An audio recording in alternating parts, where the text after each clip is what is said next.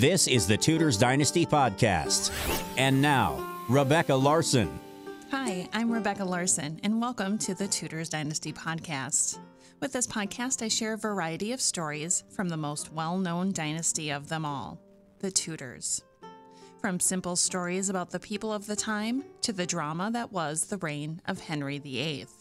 And of course, politics. This show is presented to you commercial free thanks to my wonderful patrons.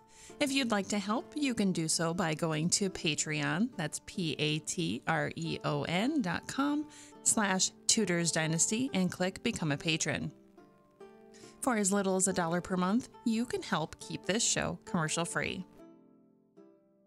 He was the longed for son of King Henry VIII by his third wife, Jane Seymour. But he is arguably the least talked about Tudor monarch, King Edward VI.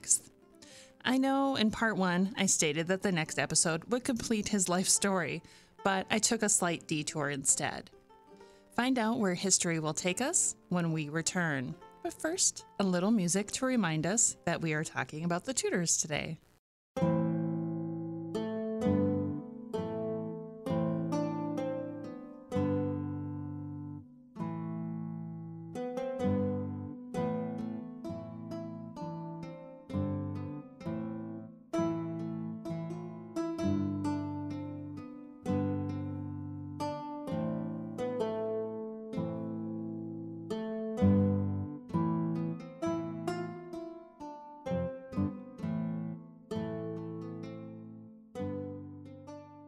Welcome back.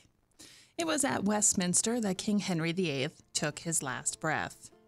He had reigned in England since his father's death in April 1509. When he came to the throne, he was a young, athletic, and by all accounts, attractive man.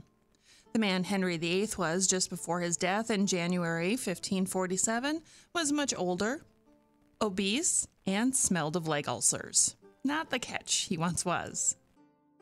The king's legs eventually became so swollen and his pain so severe that he had to be carried around room by room in a chair. I often wonder like how many men had to carry him? What did the chair look like?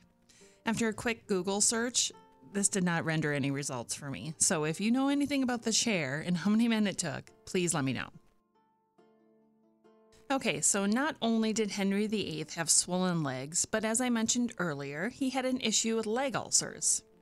He had more than one, and they smelled of bacteria infested pus, because really, that's what it was. I do honestly feel bad for him. It sounds awful.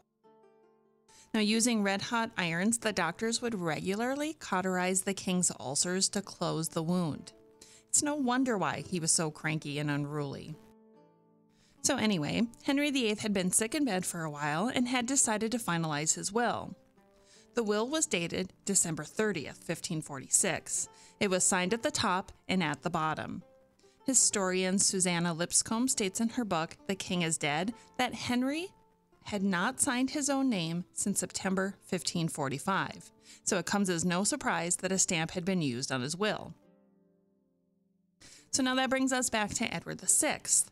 Three weeks after the death of Henry, the titles warranted per his will were delivered to its recipients, who included Edward Seymour, William Parr, John Dudley, Thomas Wriothesley, Thomas Seymour, Richard Rich, William Willoughby, and Edward or Edmund Sheffield. On that Thursday after the late king's burial, on the 18th of February, 1547, all the temporal lords gathered at the Tower of London wearing their robes of estate. Leading off the ceremony was Edward Seymour, Earl of Hertford and Lord Protector. Oh, and uncle to the king. He was wearing his kirtle and was led from the council chamber to the king's presence chamber with all pomp and circumstance. If you're like me, you're probably asking yourself, what is a kirtle? With the help of my friend Susan Abernethy, she helped me to visualize it a bit better. A kirtle was like a gown, a short gown for men. We might compare it to a tunic. Under it, they wore tights. The portrait of Henry VIII with his barber surgeons is a perfect example of a kirtle. Now, in my subsequent article, I'll include images pointing out their clothing items with descriptions so that'll help you imagine all this a little bit better.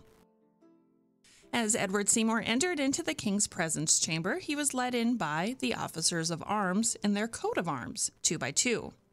A little side note one of the functions of these officers was to arrange and participate in ceremonies of state. So back to the ceremony. The four officers of arms walked in first, two by two. The garter bearing his letters patents, then the Earl of Derby, who was Edward Stanley, bearing his mantle. Then on the right hand of him, the Earl of Shrewsbury, who was Francis Talbot, bearing the rod of gold, and on the left hand, the Earl of Oxford, John de Vere, bearing the cap of estate with the crown. The Earl of Arundel, Henry Fitzalan, bearing the sword, the pommel upward. Then the said Earl of Hertford, led between the Duke of Suffolk, Henry Brandon, and the Marquess Dorset, Henry Grey. Now, all these lords aforesaid being also in their robes of estate, so this would look quite magnificent.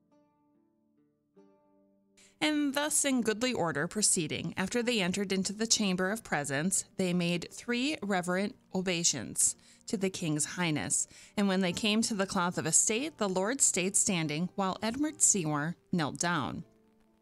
Then the garter delivered the letters patents to Master Secretary William Paget. Paget then delivered them to the king, and then the king in turn handed them back to Paget and had them read them openly. The king then placed on Edward Seymour his mantle, and then put about him a band or a sash over one shoulder and under the opposite arm. Following that, he put on his cap or crown and then delivered to Seymour his rod of gold. Following that, William Paget, the master secretary, read the patents which contained the creation of Seymour to become Duke of Somerset. With this patent, he was given a gift of a thousand pounds of land yearly, and after which Paget delivered the said letters patent to the King's Majesty, and His Highness gave them to the Duke of Somerset. And the said Duke, after thanks given to His Highness, stood on the side to assist the King's Majesty to the creation of other estates. And the rest of the lords and the officers of arms returned to conduct the other estates in like manner.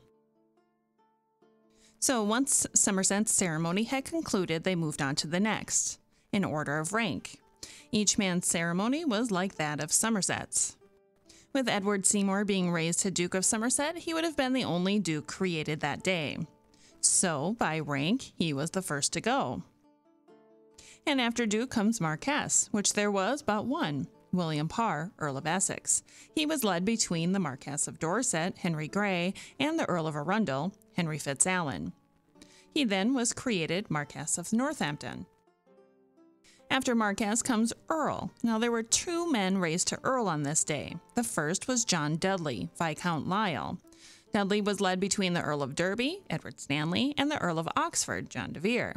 He was then created Earl of Warwick and also given the letters patent for the office of Great Chamberlain of England. This was a position that was vacated by Somerset after being created Lord Protector. Now, the second man to be raised to Earl was Thomas Wriothesley, Lord Chancellor of England, created Earl of Southampton. Wriothesley and Somerset had very different views, especially when it came to Somerset being Lord Protector. He did not think it right and it should come as no surprise that not long into the new king's reign, he was relieved of his duties as Lord Chancellor and removed from the Privy Council as well. Following Wriothesley were the newly created barons. There were four of them. Starting with the brother to Somerset and uncle to King Edward. Sir Thomas Seymour, at the time, was a knight. He entered in his kirtle and was led between two barons in their robes of estate. A baron before him bearing his mantle, and then the garter bearing his letters patents. As the words of Investimus, the king put on him his robes, and at the delivery of his patents to the king's majesty, in manner as we had previously said, read it, and then the king's majesty gave the said lord his letters patent, which contained the creation of him to be Lord Seymour of Sudeley. and at the same time the king's majesty delivered unto him another patent for the office of High Admiral of England. Now, for someone who's been researching Thomas Seymour for quite a while, this was a wonderful discovery. This proves that Thomas was given both titles at the same time. When I had first begun researching him, I had read that he was given Lord Admiral after complaining that he did not have enough power as uncle to the king. So, my tip to you is keep looking until you find a contemporary report, one written during the lifetime of your subject. Then you can form your own opinions from there. Anyway, following Seymour was Sir Richard Rich. Rich had the same ceremony as previously listed and was given his patent containing the creation of him to be a Baron of Parliament. He became Baron Rich of Leez. Then came in Sir William Willoughby, who was created Baron of Parham. Lastly, Edward or Edmund, I'm not sure, Sheffield was created Lord Sheffield. After that was completed, then the king restored and delivered unto Lord St. John the title of Lord Great Master, Sir Thomas Cheney the title of Lord Warden Treasurer of the household, and Sir John Gage, Comptroller. Each man were presented with their staves of their offices. Then the group proceeded, all in their robes of estate, and the dukes, marquess, earls, and barons, with their caps of estate on their head, in order as they were created, to the council chamber for dinner. As they left for dinner, the trumpets began to blow.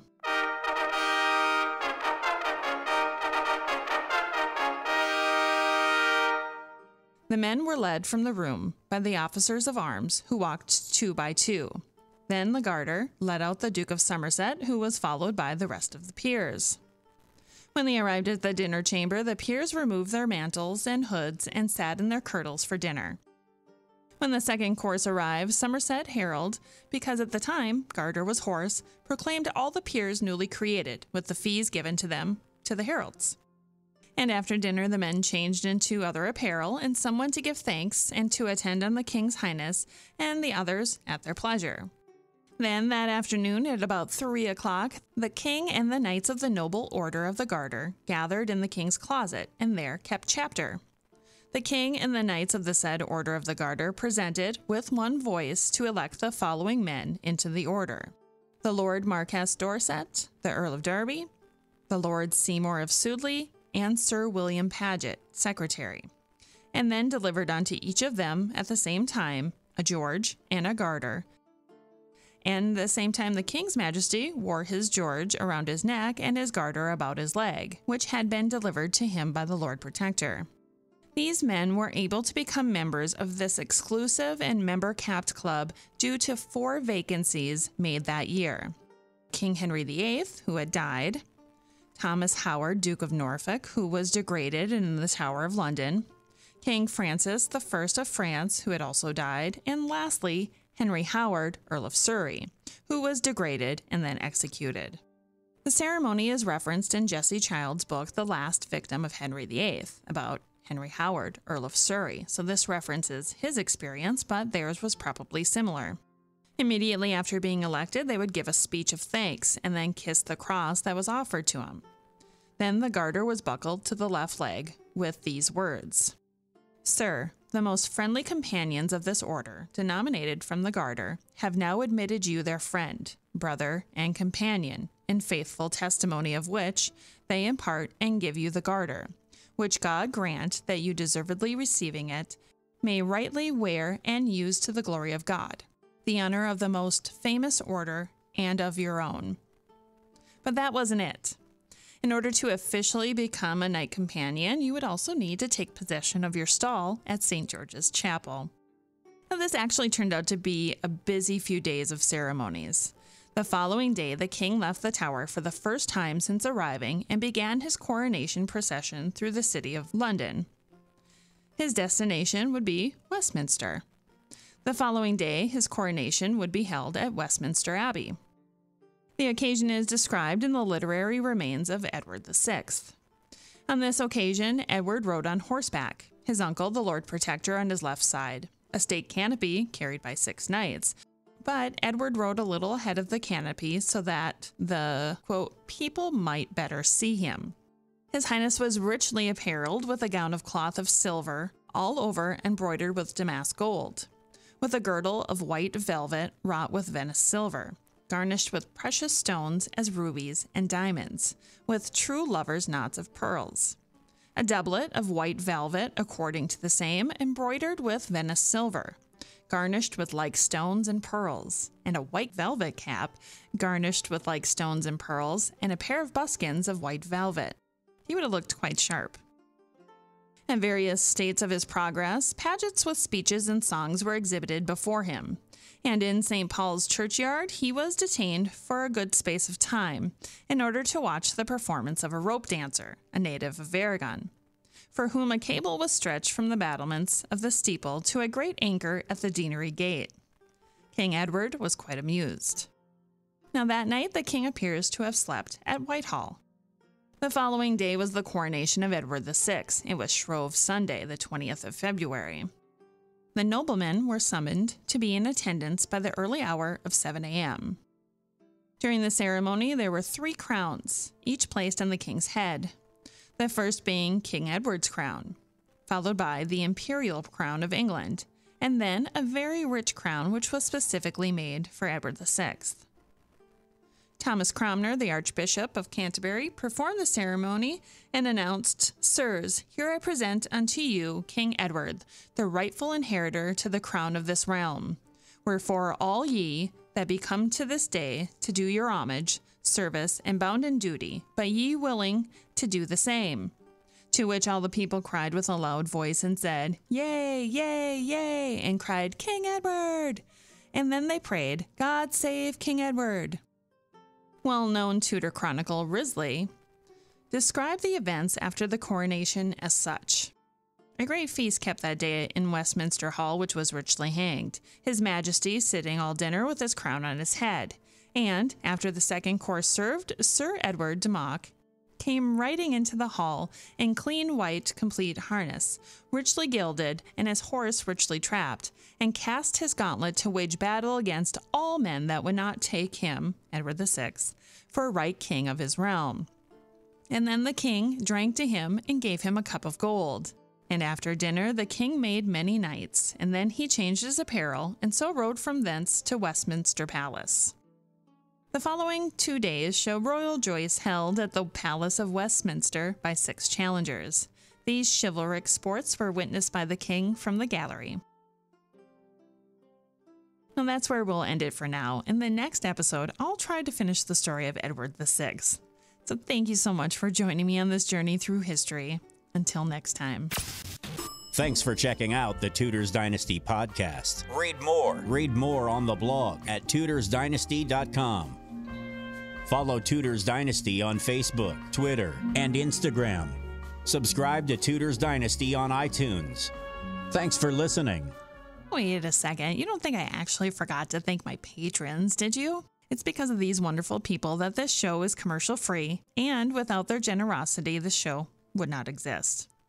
If you'd like to become a patron of my podcast, go to Patreon. That's P-A-T-R-E-O-N dot com slash Tudors Dynasty and click Become a Patron. And remember, for as little as a dollar a month, you can show your support. With that, I would like to thank my current patrons.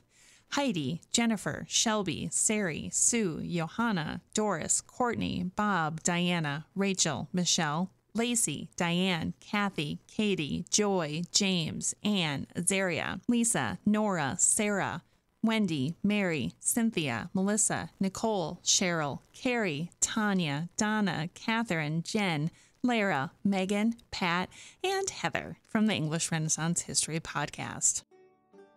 Thank you so much again for joining me. Until next time.